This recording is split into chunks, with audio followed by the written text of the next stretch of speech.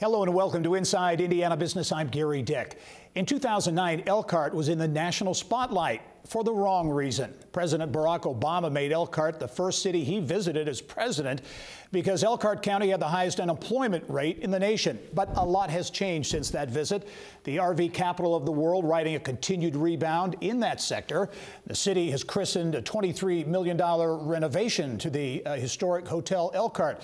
There's also ambitious revitalization underway in Elkhart's River District. Plus, the city topped a Wall Street Journal housing index. With more on what's driving the positive developments, I'm pleased to welcome Economic Development Corporation of Elkhart County CEO Chris Stager. Chris, uh, welcome to the show. Thank you very much. Hey, Chris, I mentioned off the top, uh, let's go rewind uh, back to 2009. President Obama there, there was a lot of national attention uh, on uh, Elkhart County, unfortunately, because uh, of the unemployment rate. Take us back to 2009 and what the, the vibe was like, if you will, in Elkhart County. Well, obviously, uh, we topped out almost at 20% in unemployment. it was very challenging. you know, we have a lot of uh, manufacturing and manufacturing, uh, generally speaking, uh, declined uh, a lot during uh, the recession. Uh, our manufacturing is largely in the mobility sector and the RV space, so we felt a lot of pressure as an organizationally and as a community as we come out of the recession.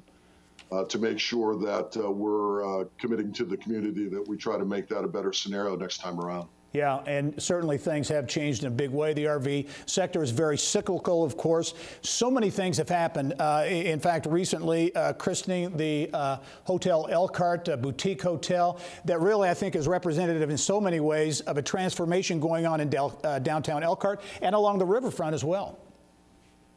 Yeah, our, our, our river district, uh, uh, we recently, last year, opened a new aquatic center. It was over $60 million aquatic center.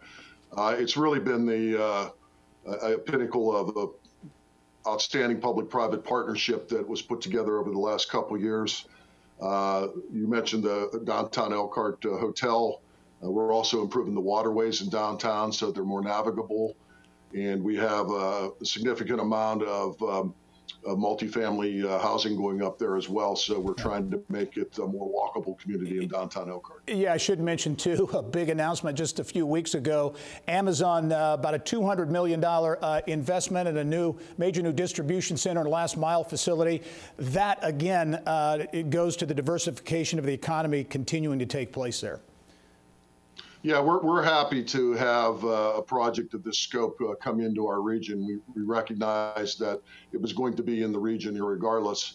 Uh, so we wanted to make sure that we supported it and be uh, consistent with our growth to try to grow automation and uh, more uh, sophisticated use of technology in all of our businesses here. Yeah, we'll talk about that, uh, Chris, because automation, Elkhart County, that area, uh, one of the most at risk uh, for loss of jobs because of automation. You're trying to take that head on. I know it's a big investment by Lilly Endowment. Notre Dame's involved in, in getting some workers trained for that, uh, that, that future workforce.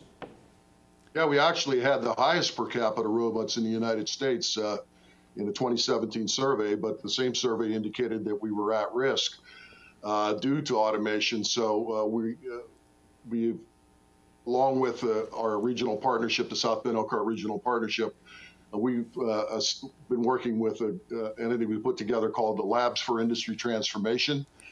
that's allowing us to go out and work with industries to figure out where they're at on their digital journey and making sure that we're supporting them uh, as yeah. they try to implement automation in their facilities. Yeah, and I know as you talk about uh, the Amazons and the, the, the workforce uh, issues you're dealing with as well, back to that downtown revitalization, the quality of place improvements, key to kind of that, that, bigger picture of attracting and keeping talent in the region? Yeah, we were one of the initial recipients uh, of the uh, Regional Cities money. Uh, we received a little over $41 million. Uh, just in uh, downtown Elkhart alone, we believe that that aquatic center project has level, leveraged about $200 million of private uh, sector investment uh, into downtown. Well, we'll have about 30 seconds left, Chris, but I know we were talking on the phone earlier uh, today. You mentioned uh, if people want to get a feel for how Elkhart really is now, if they haven't been up there for five or 10 years, you say they just ought to take a drive through town.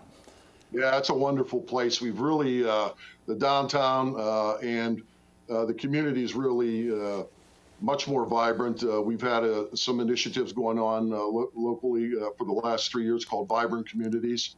So we're trying to get everybody involved in making it a better place to live. We've had, as I mentioned, the river is improved. We're also working on hiking and biking trails. There's a lot of nice amenities here in Elkhart County. We'd love to show off. All right, uh, show off uh, indeed. A lot of momentum in Elkhart. Chris Stager, the CEO of the Economic Development Corporation of Elkhart County. Chris, thanks as always. Look forward to seeing you soon. Thank you for having me. All right.